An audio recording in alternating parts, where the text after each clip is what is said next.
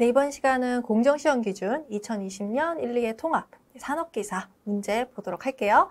자, 41번 문제입니다. 유도결합 플라즈마 원자 발광공박법 원리에 대한 설명으로 빈칸의 내용으로 알맞게 짝지어진 것은 이렇게 돼 있어요.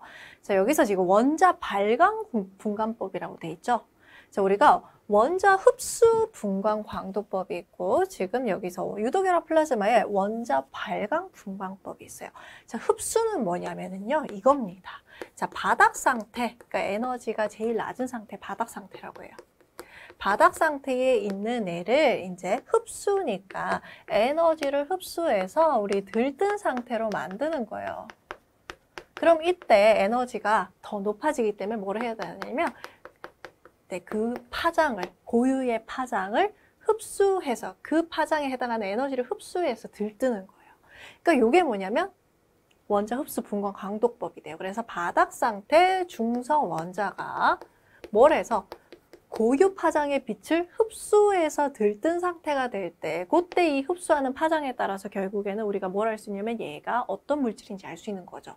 이게 흡수예요. 그럼 발광은 뭐냐? 원자 발광은 반대예요. 자, 에너지가 높은 들뜬 상태에서 더 낮은 바닥 상태가 되면 이 에너지 차이만큼 빛을 방출합니다. 이게 발광이에요, 발광. 그러니까 방출. 그러니까 빛을 방출하니까 발, 이제 발광이 되는 거죠.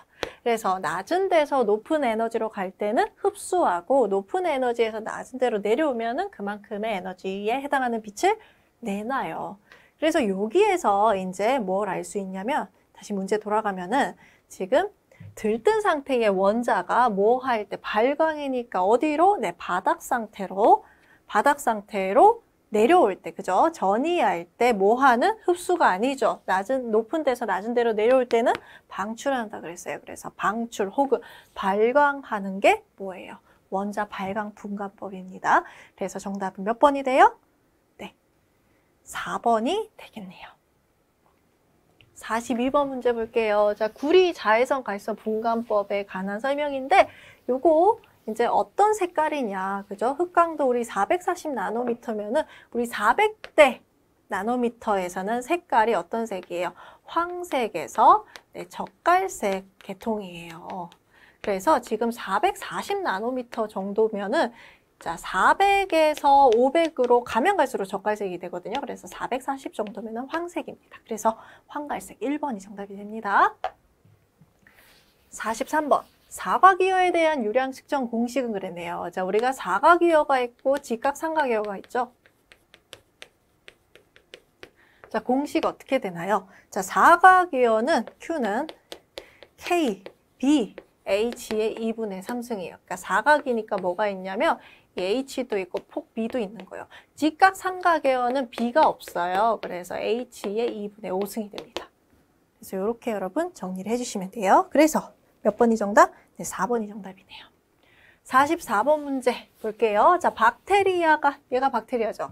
우리 호기성 박테리아의 경험 문자식 산화되는 반응식인데 이때 박테리아가 100mg이 산화되기 위한 이론적 산소 요구량 그러니까 산소가 얼마나 필요한지 우리 반응식에서 계산하면 되죠. 요거 우리 개론에서 풀었던 문제입니다. 그죠?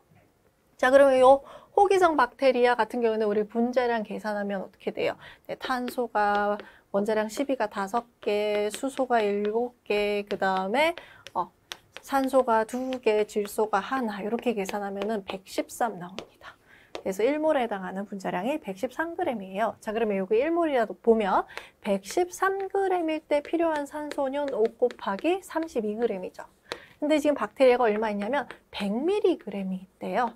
그럼 필요한 산소량은 자 여기 그램일 때 그램이고 미리그램일 때 그럼 미리그램이 와야 되겠죠. 우리 비례식으로 풀어서 이제 여기 산소 이론적 산소 요구량을 구하면 되겠네요. 자 그러면 이론적 산소량 값은 얼마가 나올까요? 네, 113분의 5 곱하기 32 곱하기 얼마? 100mg 이렇게 됩니다. 자, 그래서 계산을 했더니 얼마 나오냐면요. 네, 0.4142로 나오네요. 0.142로 단위 미리그램. 그래서 정답은 네, 3번이 되겠습니다. 45번 볼까요? 자, 요거는 시료 전처리 방법이에요. 우리 3분해 할 때 네 가지 경우가 있었습니다. 거기서 질산 과염소산으로 전처리하는 경우 어떤지 찾아야 돼요. 이거 굉장히 중요하죠? 자주 나옵니다. 자, 먼저 질산법은요. 유기함량이 높지 않은 시료. 질산 염산법은 유기함량이 안 높은데 뭐가 금속의 수산화물, 산화물, 인산염, 황화물 함유하고 있는 시료. 질산염소 염산법이에요. 그 다음에 질산 황산법은 유기물이 많은 시료. 그 다음에 질산 과염산소법은 유기물 다량 있는데 3분해가 어려운 시료. 이게 질산 과염소산법입니다. 자, 그래서 요 네 가지 경우에 맞춰서 보면은 어떻게 되나요? 질산 과염소산법이니까 유기물 많은데 어떤 경우? 3분해가 어려운 경우죠. 그래서 2번이 정답이 되겠네요.